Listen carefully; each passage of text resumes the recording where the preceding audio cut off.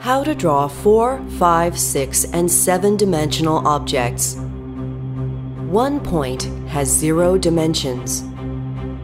Double the points, and you have one dimension.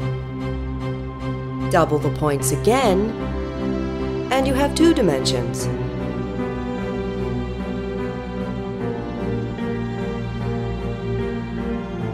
Double the points again, and you have three dimensions.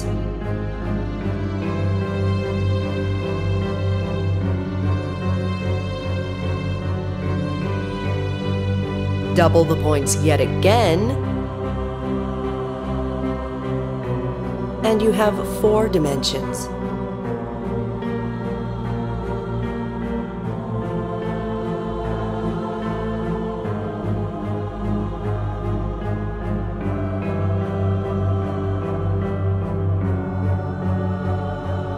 Skeptical?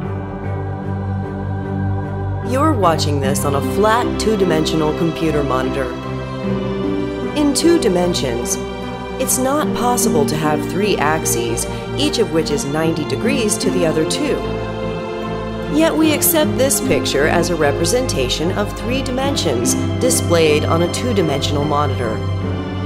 In three dimensions, it is not possible to have four axes, each of which is 90 degrees to the other three. Yet as with three dimensions on a two-dimensional monitor, we can accept that this is a representation of four dimensions. If you remove any one of the four axes, you will go back to three axes, each of which is 90 degrees to the other two.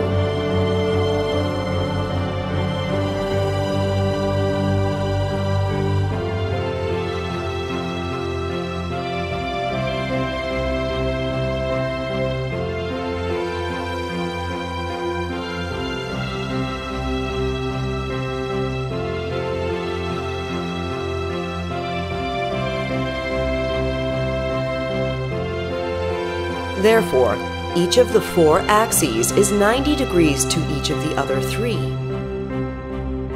In the same way, we can add a fifth, sixth, or seventh axis, each of which is 90 degrees to all the axes that came before it. Double the points again.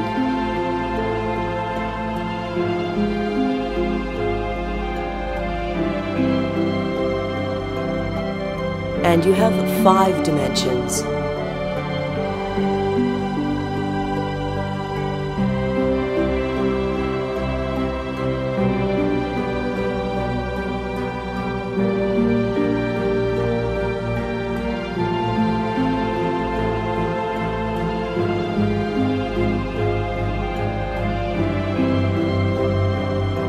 By continuing to double the points, you can add as many dimensions as you want.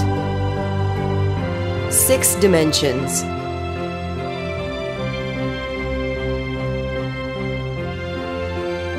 Seven dimensions.